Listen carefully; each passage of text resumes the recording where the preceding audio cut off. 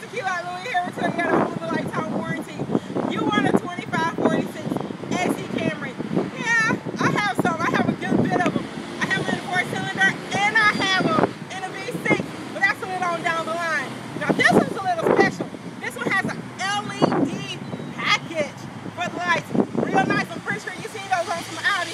But let's not talk about Audis because I don't have a lifetime warranty for those. I have a lifetime warranty for these that I have in stock. Now, this one also has nice titanium finished alloy wheels. Now, not exactly sure how you want yours equipped.